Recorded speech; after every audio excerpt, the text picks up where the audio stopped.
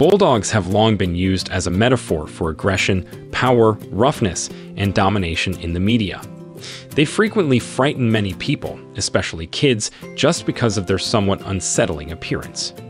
Not many people adopted them as a result. How to train a bulldog has been a concern for many up to this point. Before we walk right into how to train a bulldog, let us take a look at the breed. The scary bulldog is actually very friendly despite looking gruff. Fighting mastiffs, which were introduced to Britain by Roman invaders and conquerors, were their ancestors. They barely resemble their forefathers today, and their conduct has radically changed. These dogs are among the nicest of all breeds today, despite their pasts as aggressive and rugged animals. Originally known as Alauns, they were once used by butchers to transport livestock to slaughterhouses. They weren't given the name bulldogs in the official sense until the year 1500. These bulldogs were the ideal competitors for the event because of their size and short legs, which were popularized much later. When you see a traditional English bulldog, you know it. He has the typical huge bones, a silly personality, and a heart of gold. Although bulldogs were initially bred as fighting dogs and eventually became a universal representation of toughness and tenacity, they have since developed into peaceful, family oriented canines who prefer to lounge on their beds and see the world go by. This attractive breed is also frequently seen on television, guarding the sidelines at college basketball or football games, or in films, memorably attempting to prevent an inflated Aunt March from floating away. Given that the Bulldog is the fifth most popular breed in America, it's no surprise to see them everywhere. Appearance When someone says Bulldog, English Bulldogs, sometimes referred to as British Bulldogs, are likely the first thing that springs to mind. They are medium sized dogs weighing 40 to 50 pounds with strong, short limbs and a broad, blocky torso. Both the boys and the girls are big. Their enormous underbite is a defining characteristic, and the puppies occasionally hang a fang. Additionally, they are distinguished by their wrinkly face, nose rope, and overhanging skin. English bulldogs were advantageous in dogfighting because of their large shoulders and low sitting position. Red, white, fawn, and fallow are the four colors specified by the American Kennel Club in its breed standard. They could include more ticking or black masks in addition to any combination of these. Always have eyes that are either dark brown or black. An English Bulldog is distinct from other bulldogs and cannot be mistaken for them. The American Bulldog is a slimmer, longer legged working dog that can protect, hunt, or labor on a farm. It is an athletic breed. The smaller French Bulldog has long bat like ears. The least common bulldog is the Old English Bulldog, a larger, more muscular cross between English Bulldogs, Pit Bull Terriers, American Bulldogs, and Bull Mastiffs. Personality Contrary to appearances, a bulldog has a friendlier and sillier disposition. Despite their menacing appearance, bulldogs are actually quite kid and family friendly. According to Sarah Hodgson, author, trainer, and applied behaviorist with the International Association of Animal Behavior Consultants, as far as disposition, they are incredibly lovely if socialized early, otherwise, they will become territorial and uncontrollable with other dogs and animals. Even though they are typically friendly toward others, if they are not positively socialized to the normal ups and downs of daily life, they may also turn hostile toward strangers. Bulldog puppies need to interact with children, adults, and other animals frequently in order to develop their distinctively laid back disposition. The better off they will be, the more successful interactions they have with novel circumstances. Bulldog aggression is uncommon. He's practically dopey, in fact. He is friendly and sincere, even though he sometimes has trouble understanding what you're saying. Living standards Bulldogs are a laid back breed that loves being inside. They can thrive as apartment inhabitants because of their low level of energy. They don't need a large yard to run around in because after 10 minutes of playing, they'll need to take a nap.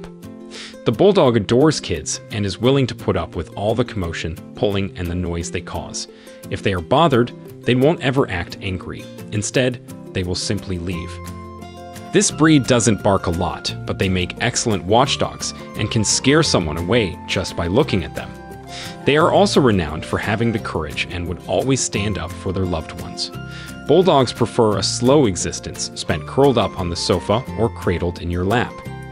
They are a brachycephalic breed, which means that they have flat faces and wide skulls, which can make exercise challenging. They struggle to swim because of their large heads and chests, and they should be regularly supervised around water to prevent drowning. The Bulldog is an all around calm and loving dog that you will enjoy playing with and cuddling within your home. With a lot of patience on your part, even if they could be a little stubborn and challenging to train, it can still work out. Bulldog training all you need to know. Bulldogs typically show people love and friendliness by giving them lots of kisses and attention. They can be aggressive against cats and other dogs if they haven't had great contact with them in the past. As soon as your bulldog puppy moves into your home, start exposing him to good interactions with different people and animals. In order to reinforce the interaction as positive and enjoyable, give your dog praise both during and after. Your bulldog puppy can benefit from socializing opportunities by enrolling in obedience classes. Obedience training. Teach your bulldog the fundamentals of obedience, including sit, stay, and down. To keep your dog's interest, keep training sessions brief, 5 to 10 minutes per day. Treat and verbal praise should be given to the dog after it exhibits the desired behavior. The E Bulldog responds well to positive training techniques and is motivated by food. Negative training techniques can only result in a recalcitrant bulldog who has no desire to learn from you. Give the verbal order sit while holding a treat just above the puppy's head and just out of reach to train your bulldog puppy to sit. Give the dog a treat and some praise as soon as it sits. With enough practice, the dog will pick up on the connection between the command and the activity and the reward. By increasing the interval between the command stay and the administration of a treat and praise, you can gradually transform the command sit into the command stay. Holding a treat in your hand, move it to the floor and away from the puppy as you say the command will help you teach your bulldog to down from the sit position. Immediately after the dog saunters down to pursue the treat. Safety training. The bulldog needs to learn the directions leave it and drop it since they can be possessive with their food and it can be challenging to get something harmful or stolen from the table out of their mouths. The order leave it can also end aggressiveness toward another dog before a fight breaks out. Start by giving your bulldog a favorite toy to practice dropping things. Order drop it or another command after your dog has taken the toy and is holding it and then present the puppy with a treat. Offer your dog a treat and give him praise as soon as he drops the toy. Put your bulldog on a leash and command him to sit to teach him the command leave it. Set the dog's preferred toy in front of him. Use the leash to stop the dog from grabbing the toy and say, leave it. Give your dog a treat when they sit still without attempting to reach the toy. Crate training. Provide a crate for your bulldog to use as a secure den Make the crate as comfy and inviting as you can by filling it with toys and a soft blanket. To make your bulldog feel safe while eating, you can feed him inside the crate. The tendency of bulldogs to hoard food. In addition to giving your dog a sense of security while eating and preventing youngsters and other family members from bothering the possessive dog during the meal, feeding your dog in the crate also makes the crate an attractive place to be.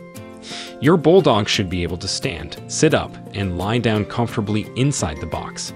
The dog should have enough space to spread out, but not too much that it will be tempted to urinate inside the crate.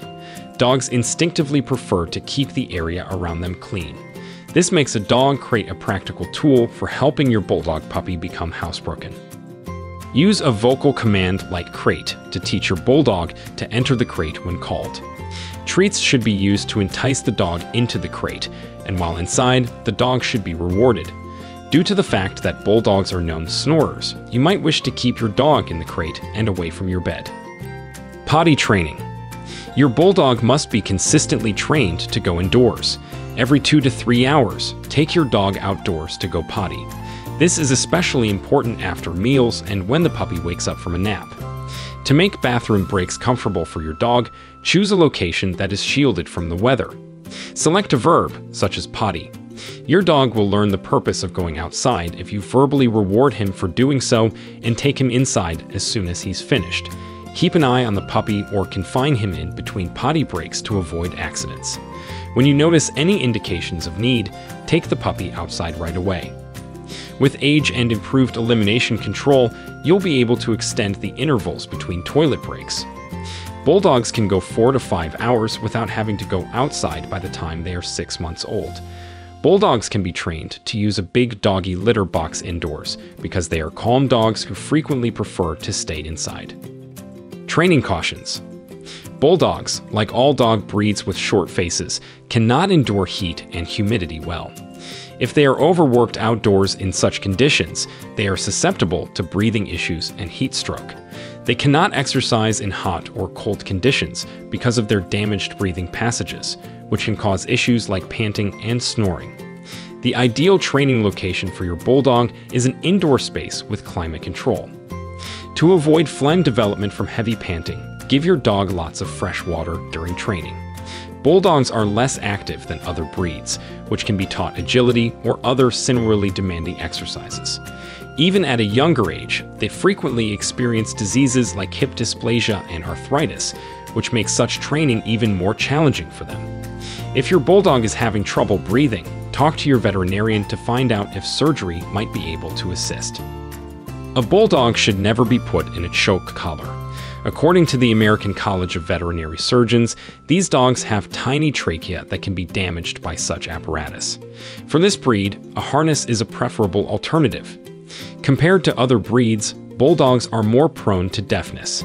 Ask your vet to assess the dog's hearing if you observe that it doesn't react to vocal orders. Bulldogs that are deaf can be trained with hand gestures rather than vocal commands by rewarding good behavior with food. Good luck with training your bulldog.